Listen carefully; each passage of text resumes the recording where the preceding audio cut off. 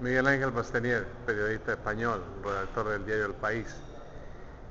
El reporterismo se ha definido como una actividad eh, primordial, básica, fundamental para iniciar toda la cadena de la producción periodística.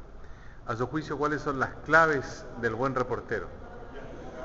No es fácil contestar a eso.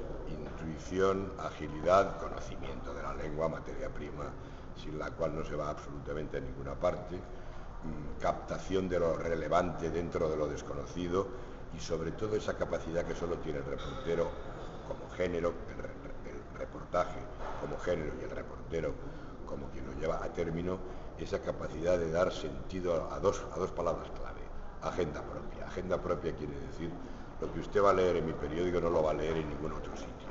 Y eso va a justificar el que usted haya pagado unas monedas o la cantidad que sea en el kiosco o en el lugar correspondiente donde ha adquirido usted su ejemplar. Solo el reportaje tiene la capacidad de darle toda su dimensión a esos términos. Agenda propia. Lo que yo le cuento que es relevante, que es interesante, que es divertido, ¿por qué no? ¿Por qué no? Eso es algo que solamente lo va a leer usted en mi periódico, Agenda propia. ¿Cuáles serían los eh, errores que jamás debe cometer un reportero?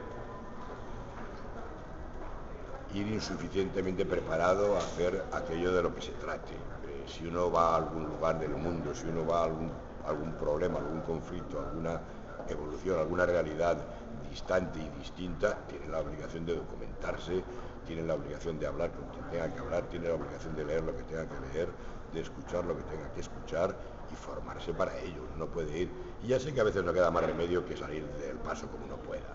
Yo soy realista, ir en contra de la realidad me parecería una estupidez en cualquier caso pero el reportero es un estudioso permanente de su trabajo como periodista. Está en formación permanente.